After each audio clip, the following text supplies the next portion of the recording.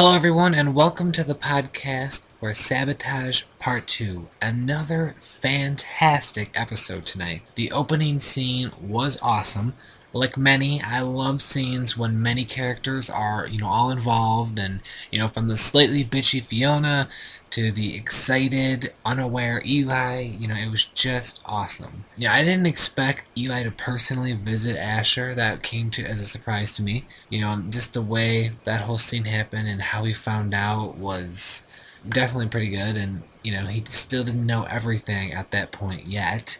Um, Imogen had a great line with the I hate spoilers. As we know in the Degrassi universe, spoilers are always leaking and things are coming out and everything, so I thought that was a pretty funny line. Of course, Imogen again with the confetti cannon, you know, yelling and screaming into it, absolutely hilarious. Now, the party, not the best of the Degrassi parties that we've seen, but still a good one. You know, the hockey team was there and you knew things were going to go crazy.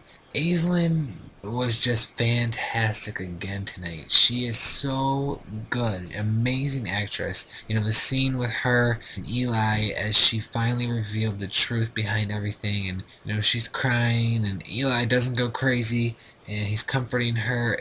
It was just an all around fantastic scene. You know, then we go right to a huge fight. The Clare and Katie high five was great you know, just the, the, looks on both their faces, like, huh? You know, and kind of the high five, you know, fantastic. Imogen finally gets the confetti cannon to go off, also great as well.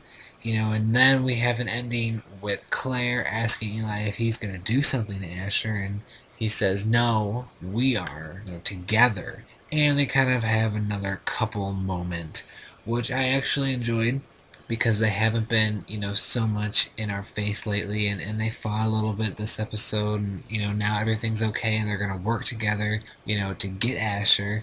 I think the plot with Eli, you know, and Clare mainly has been fantastic, you know, for season 12, especially in these past few episodes, especially even in tonight and last night's episode. You know, I have nothing but positive praise for everything involved in this plot, and I am very excited for you know the conclusion of Asher and find out you know what is going to happen to him. The plot with Dave, it was sad that they broke up because I did like Dave and Alli, but it was well done. Once again, you know, a lot of emotion in that one, and you know, it was just kind of a plot that I guess needed to to happen. It wasn't something that necessarily was super exciting, but I understand why they did it, and I do want to see, you know, what will happen throughout the season if maybe they're going to get back together or if they really are completely done. The plot with Drew, I thought once again also was fantastic as well. You know, his mom showed up and had a great scene, you know, with her son. Parents this season have been fantastic. I really hope throughout the rest of the season and in the future they still are keeping the parents around. Fiona and Drew had a great scene as well. She brought him lunch to work and you know, just him saying, you know, he's so out of the loop and everything when Dallas came talking about Clare. That was definitely you know a funny you know cute little line that he had. And i love the advice that fiona gave drew. You know she never gave up. And i was hoping drew wouldn't move out. And i don't think he officially has yet but you know i hate when certain storylines end too quickly you know so even though this one might be ending i do like that fiona gave the advice you know she never gave up and you know she was on her own and that is something i really admire in the character of fiona.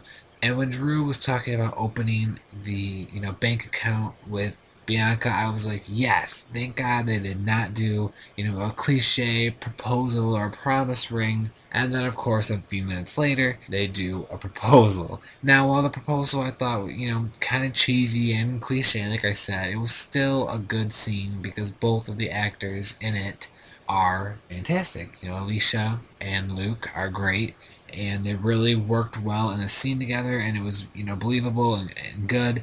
I don't know how i feel necessarily about this proposal slash you know promised proposal but i love drew. I love where everything is going with that. I love bianca and i have faith in the writers that they'll be able to do something great with it.